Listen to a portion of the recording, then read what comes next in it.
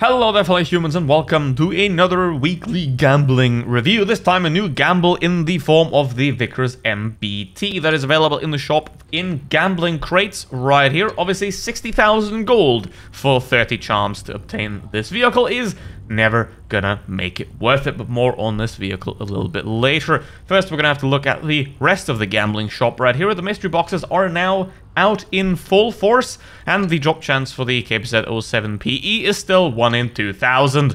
So you're more likely to be run over by a femboy in a tank than to actually obtain this tank. The resources right here, we're gonna the individual offers are individual, they're all cheap.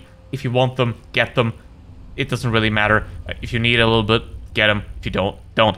Then, the resources, a lot of times fives, 50 is about enough to grind through a whole tech tree, and I think 4,650 gold for that is an okay price if you need the times fives. If you really want to grind the next tank, then that can be somewhat worth it if you have nothing better to spend your gold on. If you already have the good premium tanks that you need, because you only need about 5 to 10 premium tanks to actually get through all your credit grinding without it getting boring. The tank section this week is also very straightforward. We have something that is essentially a meme bundle right here. The IS-2 shield, it is nothing special. It just plays like a regular IS-2. If you've played the IS on your way to the IS-7, you exactly know how this one plays, and you have no need for this vehicle unless you specifically want to earn credits with a clone of the IS that is just a slightly little bit better. And uh, you also hate having the maximum credit yield because obviously the most credits you make at tier 8 and not at tier 7. So buying a tier 7 and tier 6 to make credits is nonsensical. So these are collector vehicles. The SU-100Y is a meme tank. If you want to collect these vehicles, then you can purchase them for that. But there is no serious point in obtaining these vehicles, whether it be to have fun or to make credits. There are much better options out there. Even though the SU-100Y with its funky gun can be a lot of fun, it is also extremely frustrating due to its massive size, non-existent armor, and very mediocre mobility. So it is fun sometimes, but not all the time, not often. Then we have the Loewe right here for 8,500 gold. So Wargaming has completely lost it now because these bundles used to be 5.5k. So congratulations on that. These times 5s are, however, unlocked, which adds a little bit of extra value, a little bit of extra compensation right here. Maybe that's why it's so expensive, but obviously there is no credits and no premium time in this bundle, which is what was usual for the 5.5k bundles that the Loewe was also sold in. Obviously a camouflage two camouflages here don't add any value in my opinion because they're simply cosmetics that don't change anything about the tank except the look, and the look doesn't make you get more credits or make you have better teammates or any of that. Just, I don't add any value for camouflages being added to bundles, but Wargaming can do that to sell you the bundles for more money. Obviously, the free XP boosters are also very useful in combination with the Loewe, which is a very OG premium tank, and it still sort of holds up a little bit. It has a very high credit coefficient for what it is, so using this in combination with the credit boosters can get you a lot of credits done, but obviously it is nowhere near the upper tiers of premium tanks. I personally would not recommend it in this bundle and in this configuration. And uh, then we have the T-54 first prototype and the ISU-130, both of which are... Uh, bad choices. This vehicle used to be good in 2015, but now it is completely left over from that time, and there is no point in ever obtaining this vehicle. There are much better pre premium medium tanks out there as well. And the ISU-130 combines the downsides of the ISU-152, that is slow mobility and no armor, with the downsides of not having the BL-10, which is arguably very high DPM though, but a gun that has a lot less penetration and a lot less alpha damage than the almighty BL-10, which is what makes the ISU-152 special in the first place. And obviously, the less mobile you are, the less armor you have, and the less flexible you are, the less you want to peek, right? Because the more often you have to peek, the more often you're exposed to the enemy. And uh, obviously you can sit at the back with this kind of vehicle, but it's not very fun to play that anyway. So this is a downgrade compared to the ISU-152, and I don't recommend purchasing it whatsoever and the Invisible Menace. Already talked about that last week.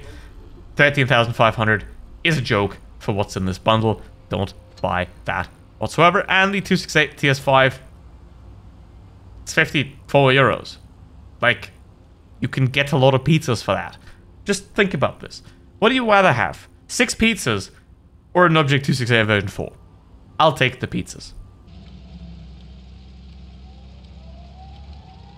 Now, there are two ways to obtain the Vickers MBT. The first one, obviously, that anyone with a little bit of marketing and math knowledge will immediately see through. That is the crate version, where you have to pay 60,000 gold to get the vehicle for sure, because obviously you need 30 charms to get the tank, 5 crates, 10,000, adds up to 60,000 gold to buy the entire vehicle. Obviously, you will be able to get a, a single certificate for 28,000 free XP because the drop chances for these are also no good. It's a 4%, so you're going to be just as likely to get one of these as you are to get the tank. You're not getting anything much of value besides that, and for 60,000 gold, that is simply not good enough.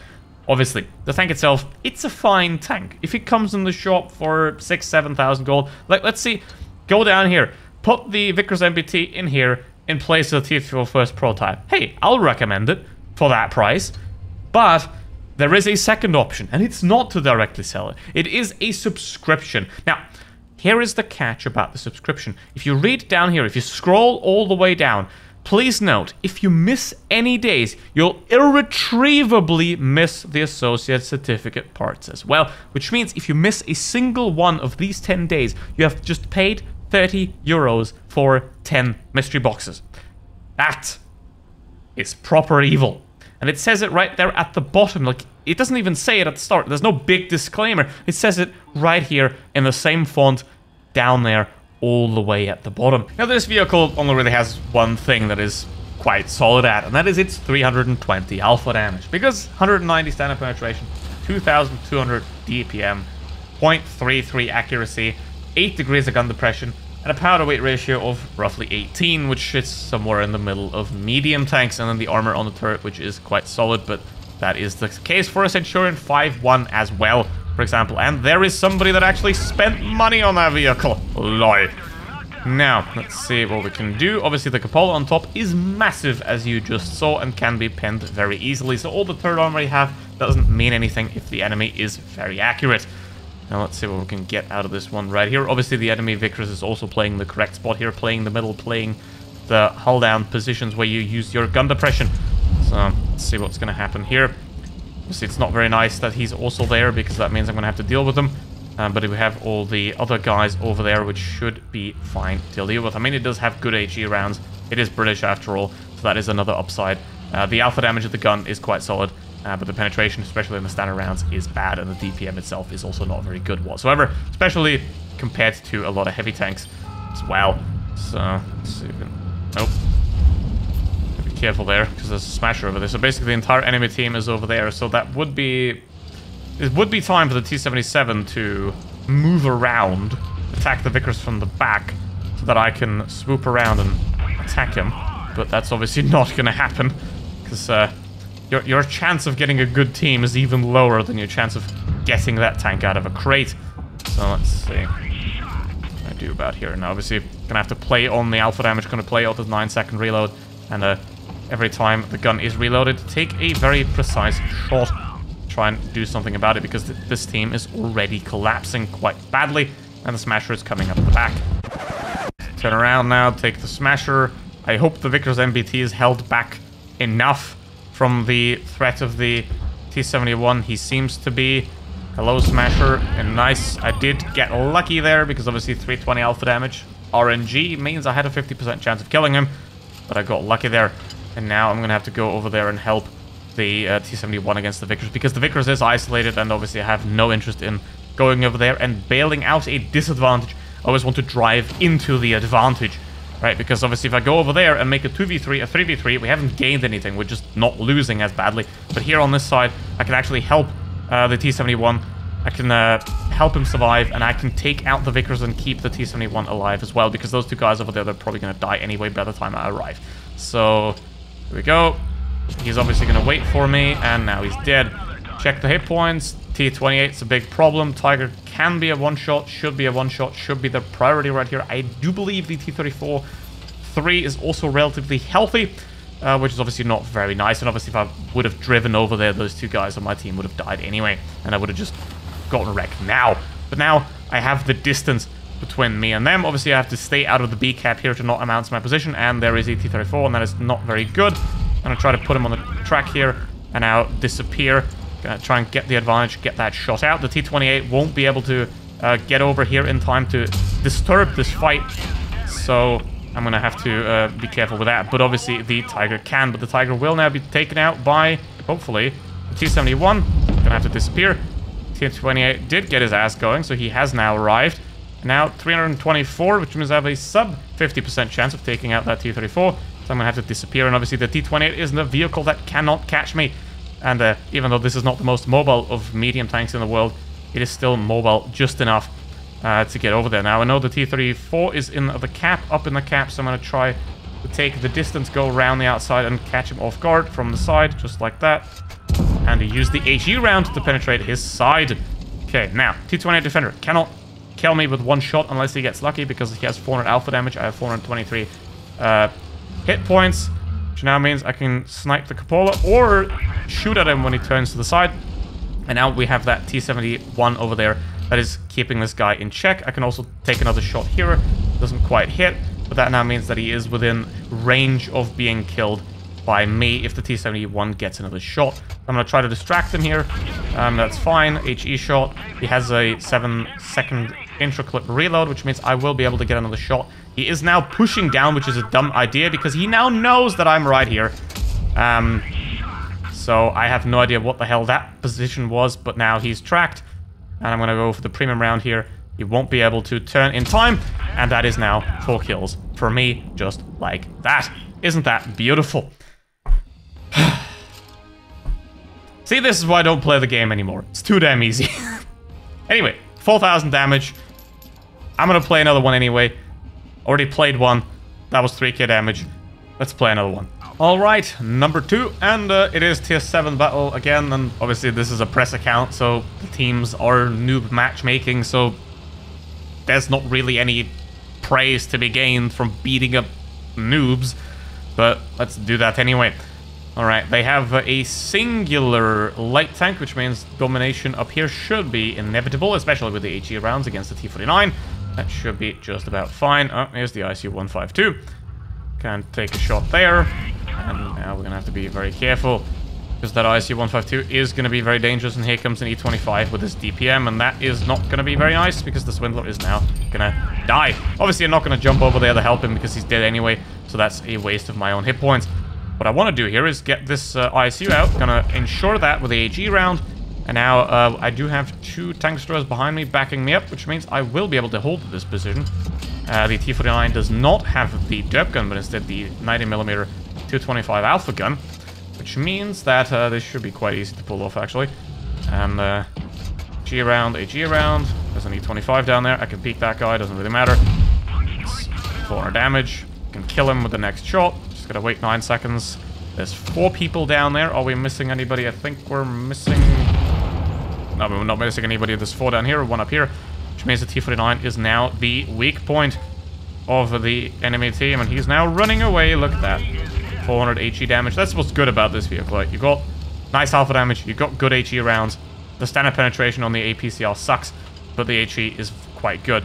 So, track him as well. He's now stuck.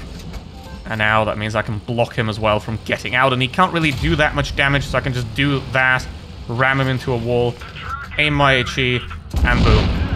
Absolutely annihilated. And now, well, this game's won, basically. The only threat really is the Action X. Um, but he can be dealt with as well. Just gonna take care of the Black Prince here. HE is not enough to go through the side of that. Here's the thing, if you don't know the exact HE penetration, or just test it, right? You you lose nothing from switching the HE and going back quickly if the enemy's out in the open like that. You lose absolutely nothing from that. So, obviously if they're quickly moving past you, then there's no point in trying to do that because you're just gonna lose uh, the shot. But if you can take your time, just check it. Just see if it works. It might. Okay, they're now YOLOing forward, which is not really great, but the E10s aren't particularly mobile. I have enough turret armor to be semi-safe up here. And that guy's just sitting out in the open. Uh, he's going to be a very free kill, unless he retreats, which he did. And now, what I'm going to do is, uh, I want to take out the E10 and the Black Prince to get a advantage against the Action X here later. Black Prince only has like 160 alpha damage, I think, so he's not going to be a threat. I can just drive past them uh, right here. And uh, the hit points that I lose in the meanwhile aren't going to be that big of a problem. Take another shot because he repositioned wrongly. And now we have the Action X up there in somewhat of a pincer. And I want to go around the E10 here, attack him from the back. Right, you would never want to be where the enemy wants you to be. But that is now lovely because the E10's already dead, which means now I can just drive around the Action X from the back. And uh, he will not be able to defend against me while being vulnerable to the SMV and the ammo. Obviously, they're both low now, so I'm going to have to be careful. He's driving forward, so I'm going to hold the angle. There we go. Another shot in. Most important thing here is I get him low enough to be able to trade, because obviously I can out-trade him with his little 190 alpha damage gun. Um, but obviously, he could do the DPM fight on me, so I want to do trading here. And uh, that's exactly what I want, because now he's on 313, which is basically a 90% chance of the next shot killing him if it pens. And now I'm going to drive away from here. Actually, I'm not going to do that. I'm going to play this house right here, because he saw me go this direction, which now means I'm going to set up here and wait if he's to poke out. Because currently it's supremacy, so I have the point advantage. Uh, he has to take A um, or C, because he already has B. So there is not much to gain here from him. Okay, he's very slow. But, um... Disappear now. Because the only thing I have to do now is not let him get close to me. Not let him get close to me. We're gonna turn again. See if it works. Know how to drive properly as well. Him rushing me is a bad idea. that is dumb. Alright. Well, that's another 4 kills, 4,000 damage, I think. I don't know. I kind of I kind of sold the tank too well, didn't I? Kind of sold it way too well. You, you now want it, don't you? You now want the tank. But don't worry, that's not the tank being excellent. That's noob matchmaking and 10 years of experience. So, it works. It's a fine tank. But, it's not worth it in crates. The same fucking verdict as every crate tank. It's fine, but don't buy it because it's in crates. Thank you very much for watching, and see you next one. Goodbye.